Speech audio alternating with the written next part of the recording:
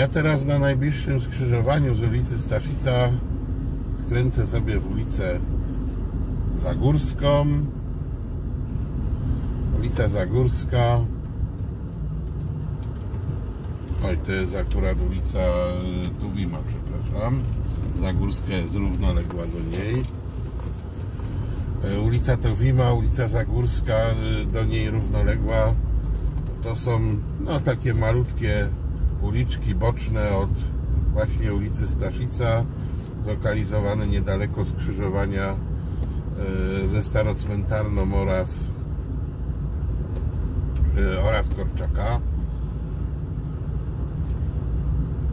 Tutaj tak naprawdę żadnej, nie mamy żadnej strefy ograniczonej prędkości, więc w teorii możemy się tutaj poruszać prędkościami nawet do 50 km na godzinę.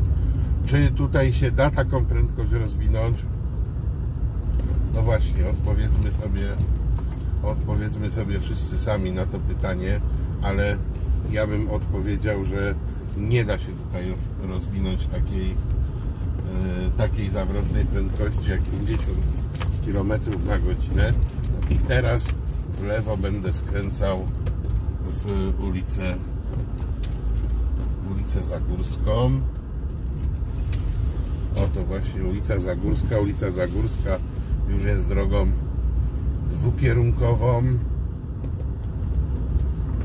Skąd różnica? Dlaczego równoległa Tuwima Zagórska, y, równoległa Tuwima jest jednokierunkowa, y, Zagórska już jest dwukierunkowa?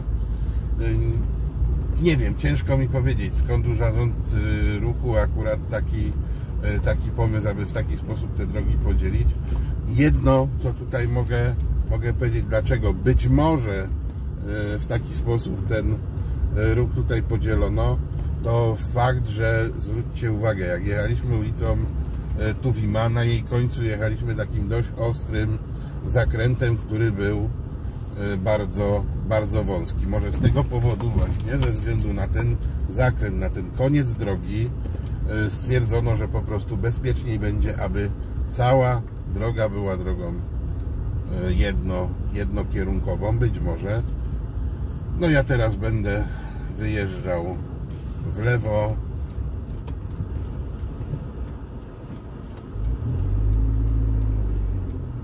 do prawej strony zwróćmy uwagę tutaj mamy lustro do lewej strony natomiast z prawej strony jeżeli tutaj, a tutaj mamy taki placyk gdzie mogą stać pojazdy.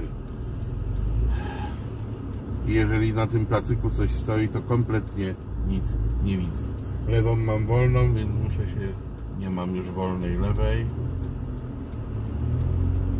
Muszę się wysunąć. Nie mam już wolnej lewej czyli znowu troszkę do tyłu brakuje lustra również w prawą stronę. Po prawej tutaj kompletnie kompletnie